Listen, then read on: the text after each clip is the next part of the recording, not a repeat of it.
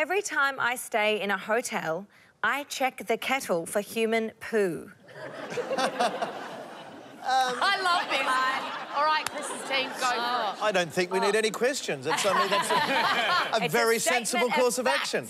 Ella, what's what's the origin of this? What was the incident that has compelled you to do this every time you a go very to a... very bad Great coffee. That's what it was. Well, I have basically been a touring musician since age 15. Mm. Stayed in some really unsavoury places along the way. And often you stay in places repeatedly, like the same hotel in the same town, all around Australia, for example. I know certain hotels like the back of my hand, and so do other touring bands. This is the thing, like there's a bit of a circuit that bands do, and oh. bands do weird things. So it's a rock poo that you're So I checking I think for. it's a rock and roll. Is it like a greeting card? Yes. A turd in the kettle. Denise, oh, exactly. Oh, Tim Rogers has been here.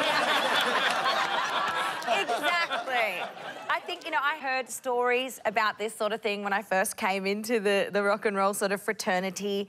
Um, and I thought, surely that cannot be true. Then I heard it from another person. Then I heard it from another person. And I started just checking the kettle just in case. It's entirely all hearsay. You've never personally stumbled on a poo in a kettle. I have not seen a human poo in a kettle, but I've met people who make me think it's true. Isn't there a story? That's It's sure. one, That's one of those things where I will now forever search ke- in kettles Exactly. for turds. Exactly. Yeah. And not, not just in hotel rooms. Next time I go to Harvey Norman, I'm going to look at every kettle. But I, I, but I do feel like it's almost like the golden ticket. The Wonka's like, is it? Is it? I'm ju- i- is it only me trying to visualise? Yes. I'm trying not to trying visualise. to poo into a kettle.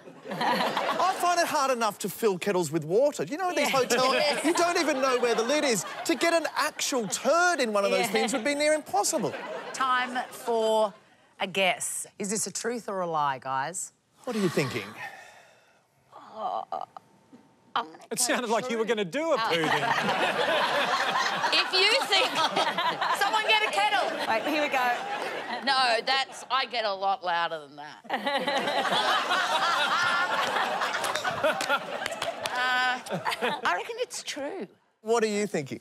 I am I'm leaning towards true. I mean, this is someone who is very experienced at that hotel life, and I There- think There's a very. Fa- I, s- I just want to add in. There is a very famous photo of Dame Nellie Melba doing a shit on a stove. a painting, I think it is, an etching. I think we can all have a sufficiently low estimation of the Australian music industry that they might do this. Yeah. Where it sort of falls down for me is that they don't know who the next guest in the hotel room is going to be. Mm. It'd be an appalling thing to do if Ella Hooper wasn't the next guest and it was just Denise Scott, Yeah. for instance. Why? Why? It'd be a marvellous surprise. Why is it good No, for Ella no, I to think. find Do you mean poo? you're pranking your friend? Yeah, As like, opposed you'd only do that if you knew the audience for your prank. That's why I'm leaning lie. But you're both thinking truth? I think it's I think it's true. Yeah, I think it's true. True.